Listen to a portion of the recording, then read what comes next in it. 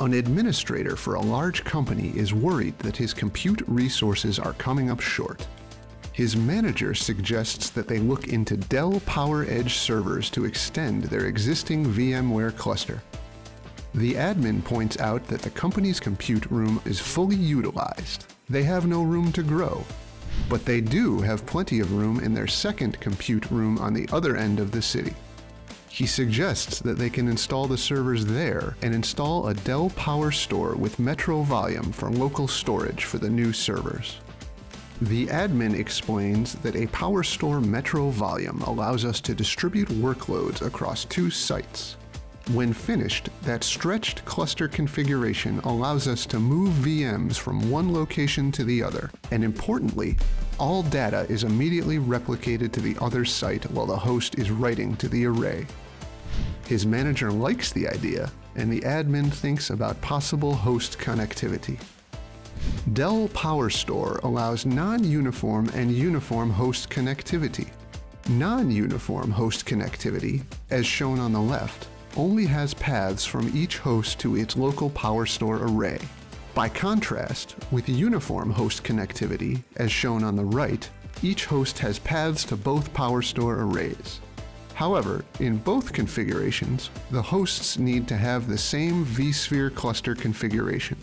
A Metro volume allows fully active active workloads to have concurrent access on both sides of the volume. The admin is now discussing how to configure uniform host connectivity. The new servers and PowerStore have been installed at the new site. Now it's time to configure the Metro volume. Using PowerStore Manager, we see that the PowerStore cluster at Site A has two hosts and two volumes. The two hosts reside in different locations. Over on the right, the host connectivity column shows that host ESXA is co-located within this PowerStore system, but host ESXB is co-located on the remote PowerStore system for uniform host connectivity. To satisfy VMware high availability, each PowerStore system presents a heartbeat volume, shown here at the top. Below the heartbeat volume, the volume called Metro volume is attached to hosts ESXA and ESXB, and VMs are using this volume as a VMFS data store. To configure the Metro volume, select that volume, then select Protect, then Configure Metro volume to start the wizard. You only have to select the remote PowerStore system, which was already set up in advance. The wizard also gives the option to configure the remote system. Select the remote system, PowerStore B, then click Configure. A progress indicator appears in the upper right corner. When the configuration is complete, PowerStore immediately starts synchronizing the data. The icon next to Metro Volume's name shows that the volume is now part of a Metro Volume configuration. Let's now take a look at the remote PowerStore system. On the dashboard, we already see two hosts and two volumes. As we saw on PowerStore A, we have a heartbeat volume to satisfy VMware HA and a newly created Metro volume, which we can select and start mapping to the hosts by selecting Provision and then Map. For uniform host connectivity, we now choose both ESXi hosts and click Apply to start the mapping process. The mapping process is very fast. Now we can go back to PowerStore A to check the Metro Volume replication session. To display the volume details page for the Metro volume, we select the Metro volume. Underneath the Protection tab, the different volume protections are available. To see the progress of initial synchronization, select the sub-tab called Metro Volume. Note the blue progress symbol between the two volumes. When the initial sync is finished, the Metro volume is now in sync and active-active. This means that both PowerStore systems allow active-active workloads from connected hosts to the Metro volume. This illustration shows the current configuration. The ESX host ESXB is using an active optimized path to the Metro volume served by PowerStore B, shown here by the yellow line. Now let's log into vSphere. To check the status of the two VMs, select the host ESXB, then select the VMs tab, where we can see that both VMs are running. To check the paths from the host to the volume, select the Configure tab, choose Storage Devices, and select the Metro volume. The section on the bottom shows the current active paths. The targets C0T1 and C0T0 indicate active paths to the remote PowerStore cluster, which is PowerStore A in this example. The first two paths show the current working path indicated by active I.O. to one side of the nodes of the local PowerStore cluster, and another active path to the second node of the cluster. Once again, here's the current configuration.